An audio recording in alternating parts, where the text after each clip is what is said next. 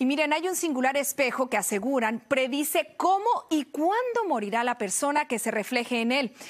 Y no lo hace usando una magia, ¿eh? sino la inteligencia artificial. Ese espejo, que luce como una tableta de 21 pulgadas y media más o menos, tiene una cámara que rastrea el flujo sanguíneo bajo la superficie del rostro. Bueno, con esto puede evaluar datos de circulación sanguínea, incluido el riesgo de infarto a 10 años, diabetes, fiebre, estrés mental, incluso, oiga, me puede avisar si cree que las personas que están viendo esto están a punto de morir.